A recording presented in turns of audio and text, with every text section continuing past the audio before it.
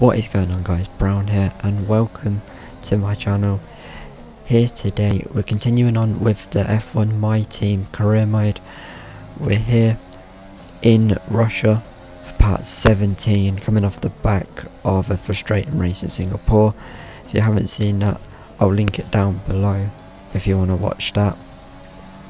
But coming into Russia and it's not a great track for racing but somehow it's always it's always good on the game. It's one of those weird tracks where we see no action in real life but in the game we see some very good racing.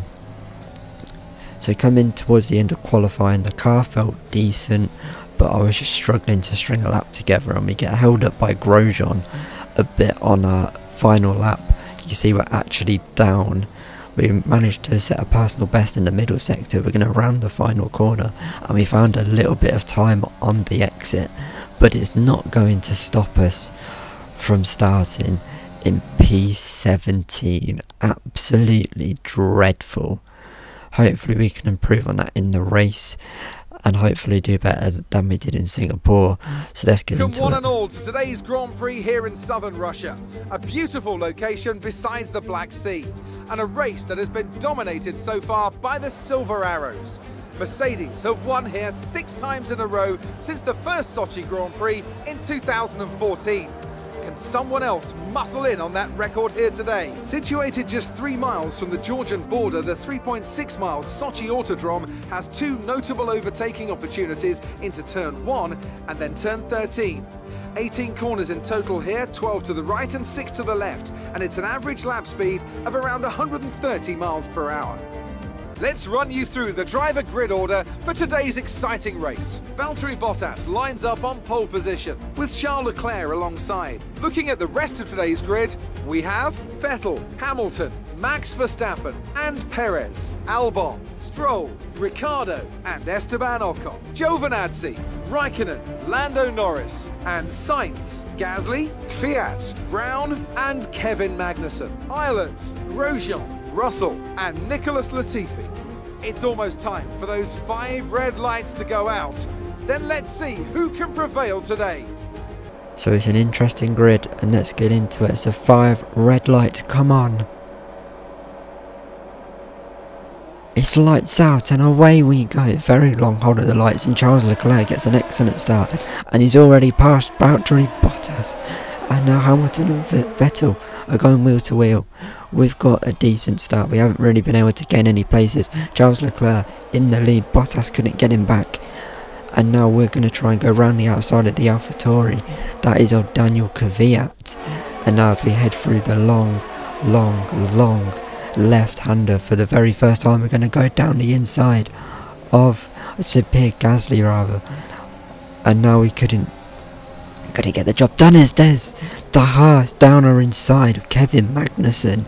So we've only we've gained one place and now we could potentially go up to P15 as we go round the outside and we do get up into P15 and now can we get back after Gasly because the car didn't feel that bad I was just I just couldn't string a lap together going on to lap 2 and we've managed to close back up to the back of Pierre Gasly in his AlphaTauri.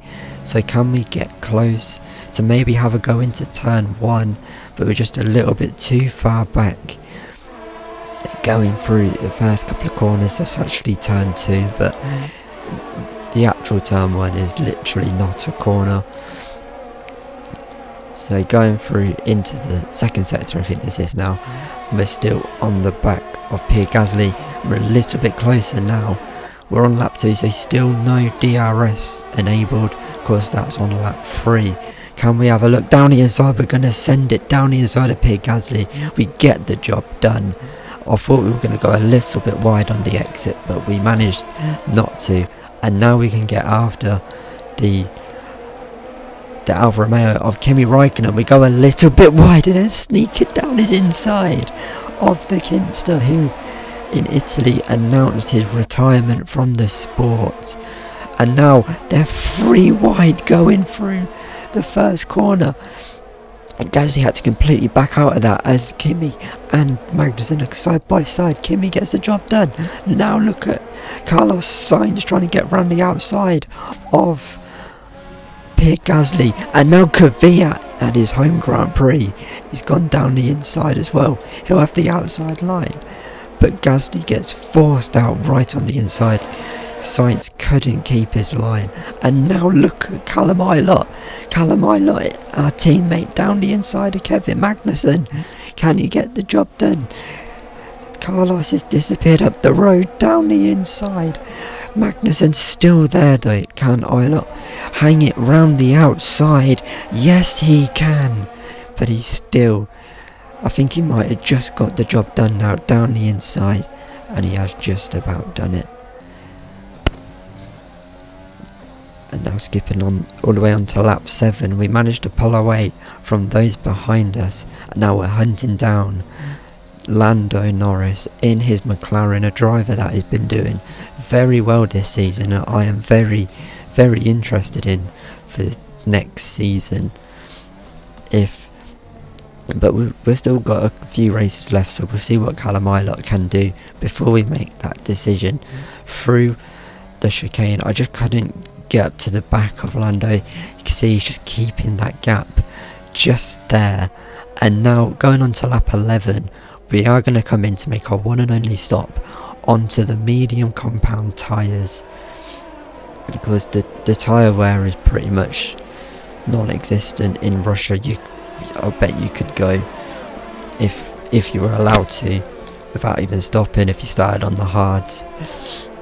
Or even the medium for that matter. As we come into the pits they're going to change the tyres onto the mediums they go and a 3.1 second pit stop. That is slow. That's pretty much a year in F1 terms. Wow that's two seconds slower than what Red Bull did in the last race in F1 in Turkey as this is Lando Norris going on to the hard tyres and now can we beat him out of the pits? This is us going around the final corner to go on to lap 12 as Valtteri Bottas, the pole sitter, retires from the race. Lando Norris exits the pit lane, charges down back onto the track and we haven't done it. You can you could have just seen us there coming out the background and we couldn't get Lando Norris, but we have drastically closed the gap. We're pr practically pushing him round. There's Valtteri Bottas, and this is a replay of what happened. He actually managed to get the lead back, then you could see the gap. He'd pulled on both of the Ferraris, and now he is out. And a track that he always seems to go well at, Bottas, a race that he got so lucky to win this year in real life in 2020 as we go down the inside of Lando Norris. It was only a matter of time. We were pushing him around the track. I didn't think we were going to be able to catch him, but we did. In the end, we're past the young Britishman and we can get down the road. And skipping on to lap 16 and it has clouded over. It wasn't meant to rain, but it has. And now going on to lap 26, onto the final lap, it must have just been a lot of cloud coming over because it's back to blue skies 10 laps later. Sebastian Vettel has won the Russian Grand Prix, ending the Mercedes unbeaten run in Russia. And we're going to come home for P11. That's the end of the race. We'll see you in Parc Ferme.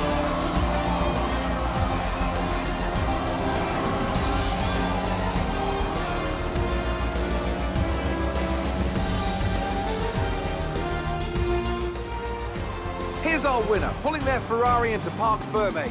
What a fantastic race it was. Anthony Davidson, a resounding victory today. What set them apart from the rest? I'd say it was down once again to good consistent driving, nailing the corners, working to the track conditions and perfecting the team's strategies. They got all of these things right today and the results speak for themselves. And here we are, a team that is no stranger to the podium, taking their place on top once again. A sublime race today and a stunning win for Ferrari.